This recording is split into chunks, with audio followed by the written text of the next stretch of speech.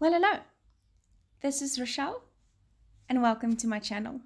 If you haven't subscribed yet, why don't you do so? And I'll show you how to do more um, pages like these.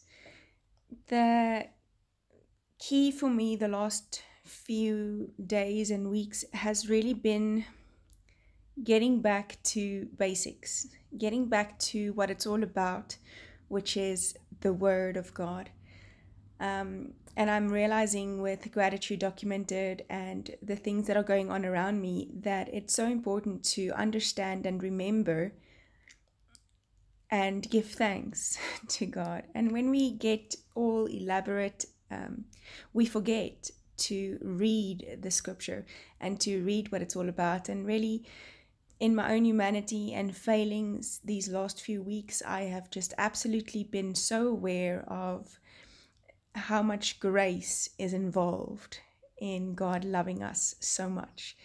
And so I love this printable by Ella Roetz. Um, I unboxed it last week on the channel, and um, it is in essence about the woman at the well, but um, these printables can be used so many different ways and in so many different places. And this specific instance and where my heart is at with God at the moment, I am realizing, like I said, that it is grace, grace, grace.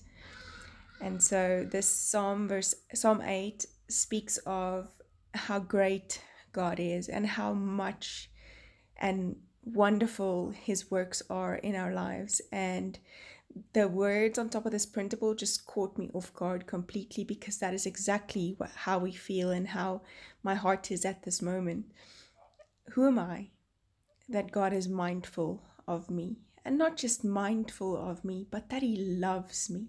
He loves me. And uh, so, yeah. uh, I'm just thankful.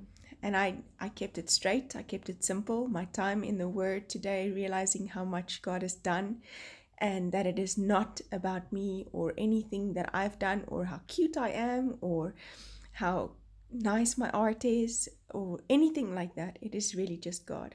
And as I was thinking, the verse where it speaks of us being broken vessels being used by God, and so I saw this cracked, uh, you know, jar in my head, this imagery of a cracked jar that God would use a cracked jar like me.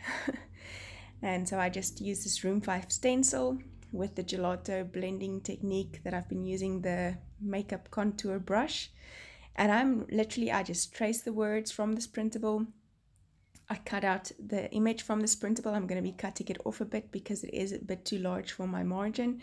Um, but nothing of the imagery is lost. Um, and so yeah today I want to encourage you um, it's a good place to be where you understand that it's not about you and even sometimes we feel that our hurt is so big that it kind of overshadows how great God is.